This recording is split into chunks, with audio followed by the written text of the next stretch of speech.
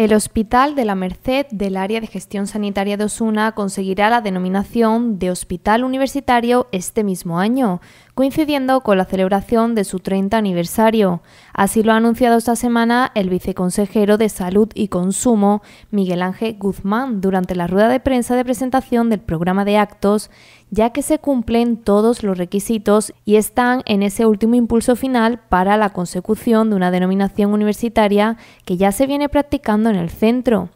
Desde su inauguración en 1993 se han realizado más de 4,8 millones de atenciones en consultas externas, más de 1,8 en urgencias y cerca de 33.000 nacimientos. También ha acogido el ingreso de más de 280.000 pacientes y ha realizado más de 288.000 intervenciones quirúrgicas. Este centro hospitalario ha sido objeto de diversas reformas y mejoras, siendo la ampliación de la unidad de cuidados intensivos inaugurada el 11 de marzo de 2022 una de las de mayor envergadura con una inversión de más de 6 millones de euros, ha explicado Miguel Ángel Guzmán. En esta misma línea, el viceconsejero de Salud y Consumo ha recordado que desde el año 2019 hasta el 2022 se han invertido un total de 14 millones y medio para la renovación y modernización de infraestructuras y equipamiento en todo el área sanitaria. Del mismo modo, el viceconsejero ha recordado las mejoras que se han llevado a cabo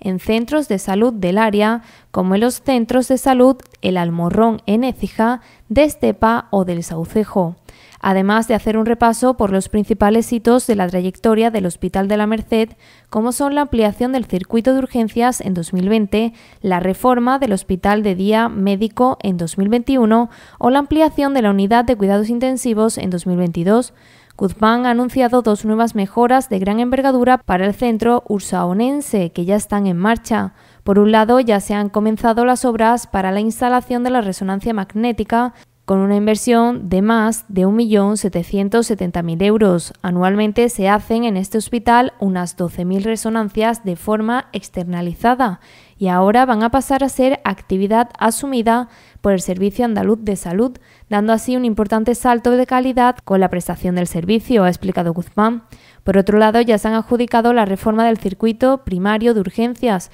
con una inversión de más de un millón de euros. Dichas instalaciones con una antigüedad de 30 años requieren la adaptación de los espacios a los requerimientos funcionales actuales, equiparándolas a las del segundo circuito de urgencias creado en 2020 como consecuencia de la pandemia por el COVID-19. Para celebrar estos 30 años de andadura, el hospital ha configurado un programa de actividades diversas bajo el lema 30 años cuidándote que se irán desarrollando a lo largo del año y que van desde jornadas científico-técnicas a actividades socioculturales. El objetivo es reconocer la labor de los profesionales que han formado parte de su historia y siguen formando parte de su día a día, además de acercar a la ciudadanía la historia del centro hospitalario, destacando los principales hitos, ha explicado el director gerente del área de gestión sanitaria, Celso Ortiz. El acto central en el que se rendirá homenaje a profesionales que llevan 30 años de servicio y que contará con la participación de diversas autoridades